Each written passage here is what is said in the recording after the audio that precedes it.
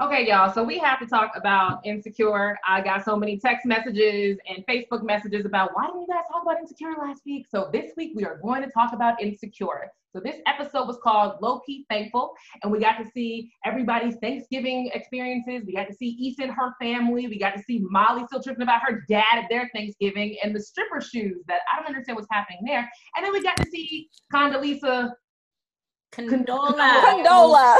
Condola, yes, we got to see Condola Friendsgiving and how Lawrence invited himself to that Thanksgiving, right? He invited himself, right, guys?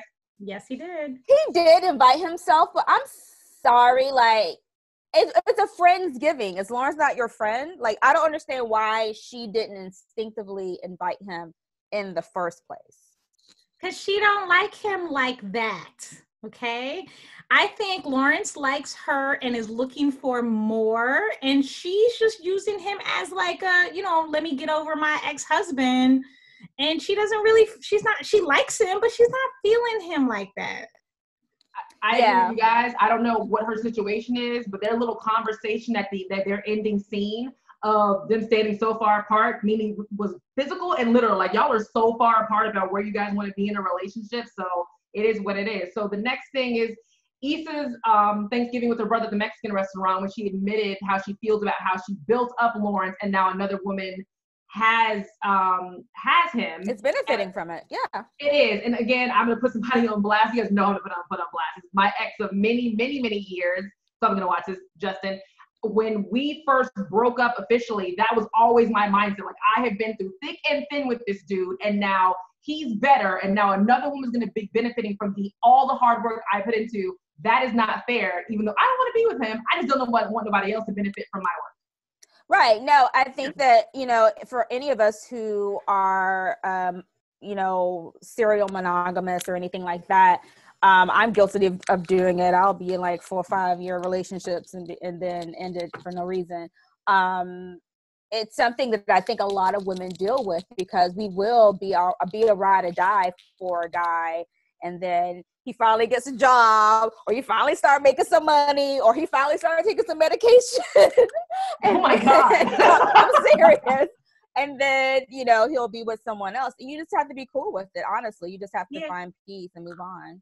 I think the problem um, for all women, but I think specifically even in the Black community, is that we are almost told or trained that we are supposed to be with men that have potential. I mean, we hear it all the time, like, "Oh, well, he's a good guy.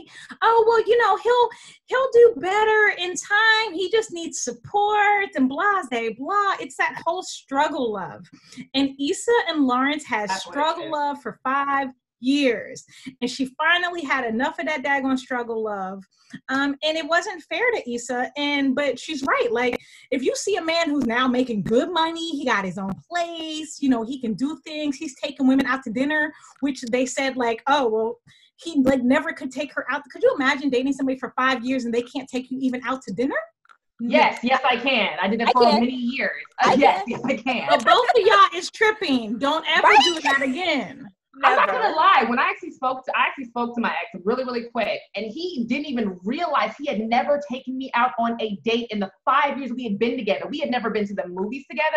He had never. He'd only paid for dinner twice, twice. That's a lot. That's a lot. All right. So Molly, I want to talk about Molly and Thanksgiving. Wait, Molly and Issa's friendship. How that's Oh. just going way left.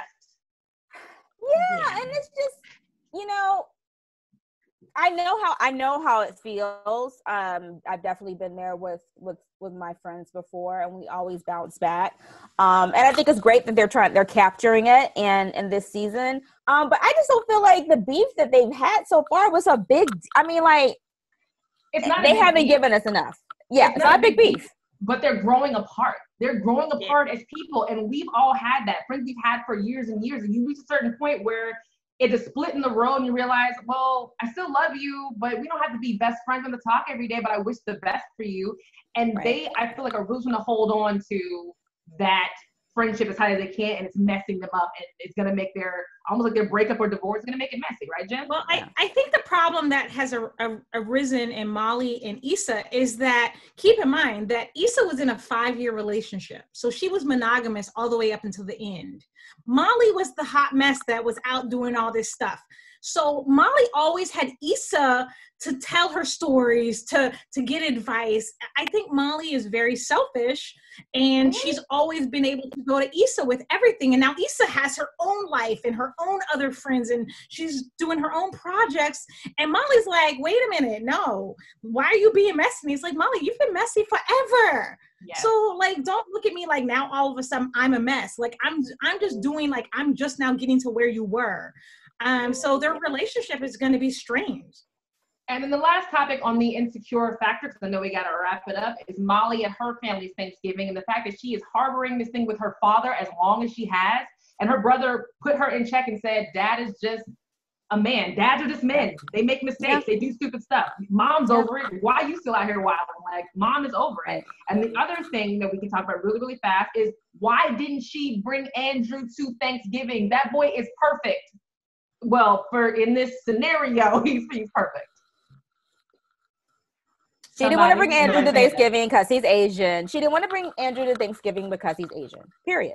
Right. Like a little dim sum at dinner. Yeah. That's it. That's it. Yeah. Because black. Yeah, folks. I think that was the main thing. She really, I mean, because she was even embarrassed when she showed the photo, you know. And ultimately, I don't think Molly wants a relationship, but then I don't think she really wants a relationship. She, she's even she's on the fence as to like where it's going and you know all of that with him so i don't know i mean i don't see that relationship really lasting because molly's just you know mm. molly's molly. I don't know. There was just too much tension in that household and i think and that circles back to why i think Issa decided just not to even go over and have pie with her.